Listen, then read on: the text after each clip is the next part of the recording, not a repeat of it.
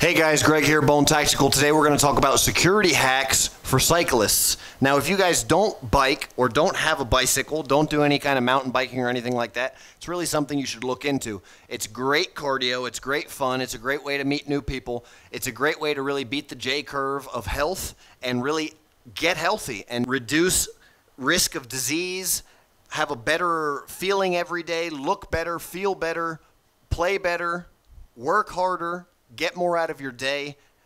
Your dating life will get better.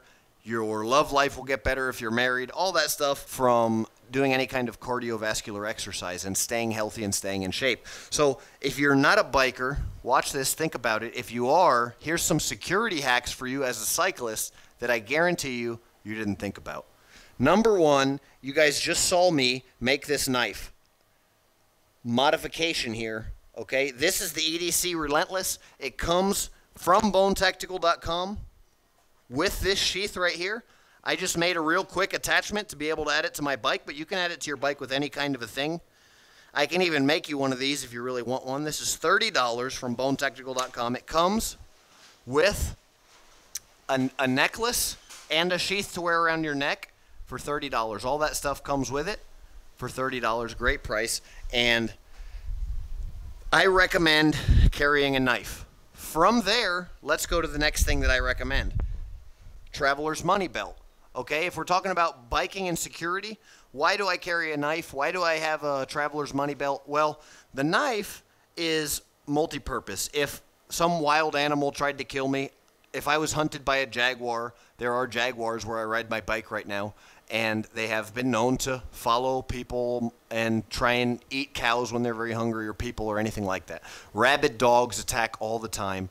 Okay, so I'm also in a very dangerous area, and in the United States, it's not a whole a whole lot different because although it may not be very dangerous in the states, if you're a female or even if you had some kind of drama in your life that you didn't know and somebody targets you, it's very easy to target somebody when they're on a bicycle, when they're out doing their their bike route, okay? So the Traveler's Money Belt allows you to carry a firearm, full-size firearm, allows you to carry two extra magazines, a lot of really heavy stuff. I ride with this pistol every every single day, guys. Every day I ride with this pistol. The Traveler's Money Belt, even if you don't carry a firearm, allows you to have on in gym clothes, okay? It allows you to be in here and carry all kinds of documents, all kinds of money, passport, any of that kind of stuff, and then it can be completely concealed. Okay? It can be all of this stuff can be completely concealed. Basically, you guys can see I can ride my bike, I can jump, I can do all kinds of stuff. I'm moving and shaking, okay? And the gun's not going anywhere. I've got a very high quality Bravo concealment holster on here, extra magazines, all that stuff. I keep my keys in my pocket here. I've got the bone breaker on my keys.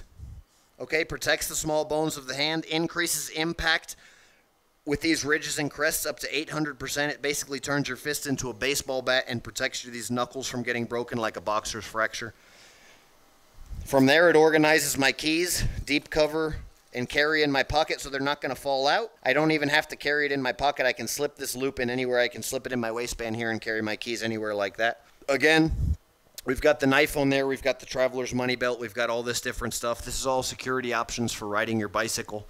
I just kind of wanted to show you guys that. I will show you here, kind of sitting on my bike in this position, how I can very easily have the pistol there, okay? The pistol's here, easy to access, riding with one hand, pull the shirt up, access the firearm, okay? Very easily accessed but I can ride all day long and nobody's going to know that I have that pistol on me. All right? It could be anything there under my shirt and it's legal to carry because it's concealed. And the Traveler's Money Belt from Bone Tactical is the only thing that you can use to do that because it's hardcore, heavy duty. It's waterproof Cordura aligned, guaranteed to be able to carry these heavy objects and items. I use this every day my life is on the line and I use this money belt. I can't recommend it anymore.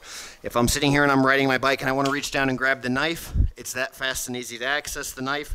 Again, I'll show you one more time. I'm sitting here riding and I just need to reach down and access the knife and it's in my hand.